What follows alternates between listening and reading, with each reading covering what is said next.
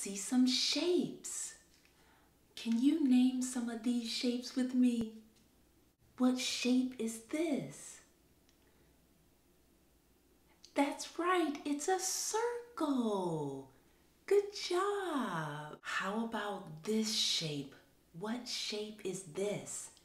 It has three corners and three sides. Yeah, it's a triangle. Good job. What shape is this? It has four corners and four sides that are the same.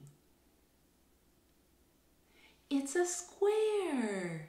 Good job. What shape is this? It has four sides it has four corners, but two of the sides are longer. It's a rectangle. Good job. What shape is this? It's a star, just like you, just like me, just like you. It's a star.